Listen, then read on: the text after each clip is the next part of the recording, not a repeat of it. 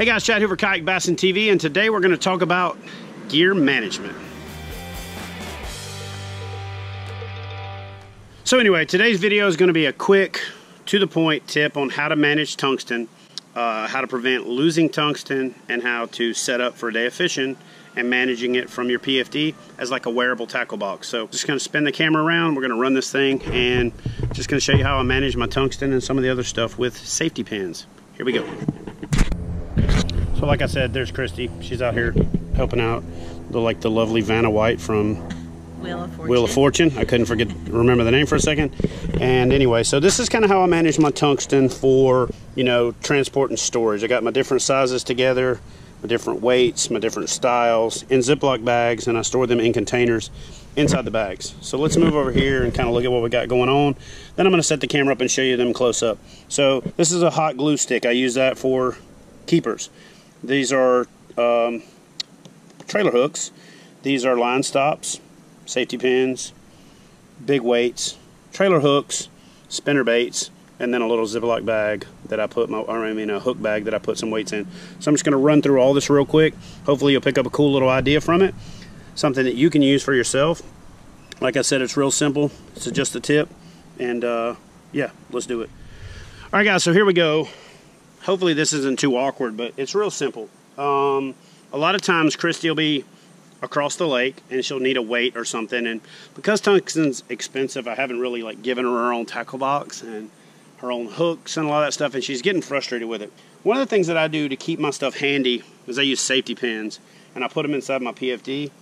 Uh, I use backstock in my PFD which is basically just one of these hook packages right here okay? And then I fill it up with different size weights and different styles, so I got a little bit of everything. But the stuff that I'm using immediately, I put it on safety pins like this. So these are my beads, my acrylic beads from Woo, and then I put them on that safety pin, and even if it pops open, they're not going anywhere. And so I simply just take this piece and pop it off, take a bead off, put the keeper back on, and that works like a champ. The way that I make these keepers is just simply take a hot glue stick, all different diameters, and cut a little piece off of that with a pocket knife. So what this does is it doubles as a little tip that I use to make trailer hook keepers. So there's a buzz bait. You just take this and poke it on there and drive the tip on there. And then I usually just pull it on with my teeth. My dentists don't really like that. But bam, you got a trailer hook keeper. Thing ain't going anywhere. It's not going to dry rot. It's not going to melt. And it's a perfect little trailer hook keeper. The hook swings free and you have a better hookup ratio. So that's that. Now, the way that I manage my trailer hooks is like that.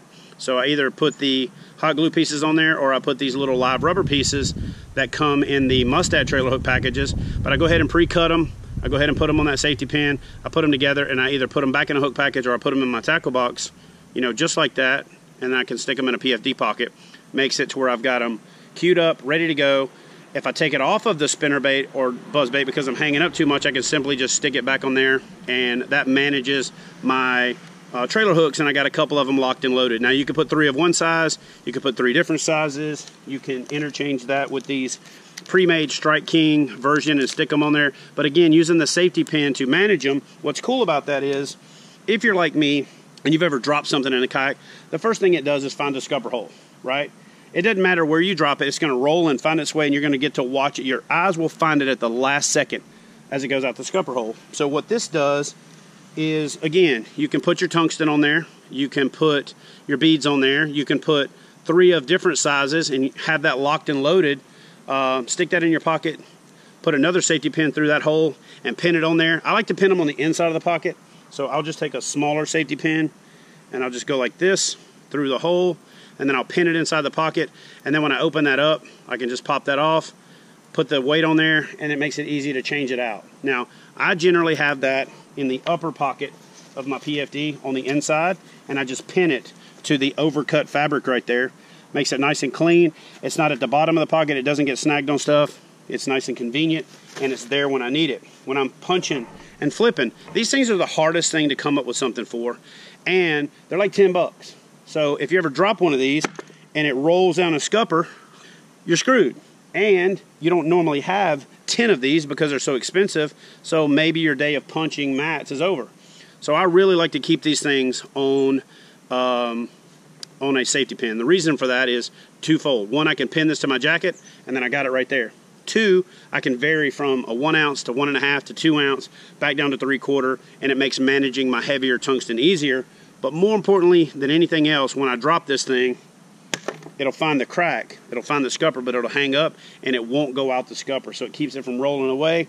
I can even put it in down in the drink holder. I can put it in the letters of my attack conceal kit, whatever. And it's just a real cool way to manage those weights. Again, you can also take another pin, put it through the hole and just hang it off your PFD, hang it off your seat back, but it's a good way to manage that gear. Beads, excellent way to manage them. Again, this is just a hot glue stick. Take that, cut yourself a little piece off of there, makes a great keeper. And then when you stick that on there, if you happen to drop it in the open position, as long as that keeper's on there, you know, you can drop it and they're not going anywhere. They generally come in a little plastic bag like this, and on at least one occasion, I have opened this bag and dropped it, and every one of them rolled out like ants going to a picnic right out my scupper hole, and that was a pretty expensive droppage. You can use the safety pins again to manage your live rubber in both a pre-cut position, or you can stick the whole piece on there, and again, you've got it ready to go for when you need a trailer hook keeper. You just stick the pin through there just like this, pin it on the inside of your jacket, just like that. And then when you need a piece, you just clip it off with your line cutters, your clippers, and that thing stays clean and convenient and out of the way. Now, I'm not going to get into showing you a whole bunch of different crazy configurations, but I really like using safety pins also for managing these really small hooks. These really small hooks a lot of times come in a package like this, and they're a pain in the butt to get out of the bottom of a tackle box because they're small, they like to tangle up, and so if you just take your hooks and you thread them onto your safety pin just like that. They stack up nice and clean. You can put different sizes in the same package and you don't have to fish through the package to get them because they're all organized and clean. Uh, you can grab the one safety pin. Now, I have seen people go so far as to put a tag on this side with a number so that you can label them and so it doubles as both a labeling system and a hook management system but it just makes it really nice and easy and clean.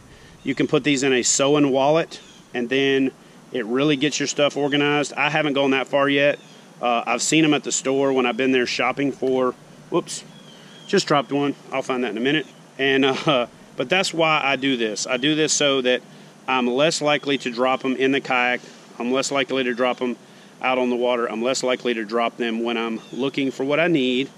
And um, it just makes a cool way to manage your hooks, to manage your weights, and to manage any kind of little bitty piece parts like the acrylic beads from uh, from Woo. So, like I said, leave enough space that you can you can secure it, and then all your hooks line up. They're nice and clean. Even when you put them back in the package, they don't get all tangled up. You can reach in there and grab the hook, the safety pin, drop the hooks in there, It'll, it's organized. You can put multiple sizes in there. Like I said, you can put the tab on there.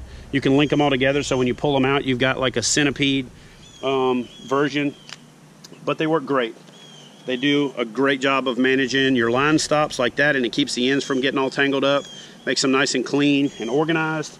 And it's just a way, a great way to manage and organize the inside of your PFD. And it makes managing those little tiny piece parts and those things that you need out on the water that much less thought, thoughtless. It's easy, it's simple, it's clean. Uh, sometimes you'll talk yourself out of changing up when you're in a kayak because you don't have something that you need.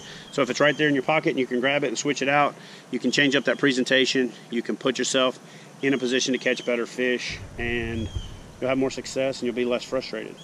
Kind of like Christy's been on the last couple of trips where now that she's starting to have some success, she's really getting frustrated when she doesn't, which is good. That little She's competitive, so I like that. And um, but yeah, guys, that's a little simple tip on how I manage some of my gear. It's actually a couple of tips rolled into one.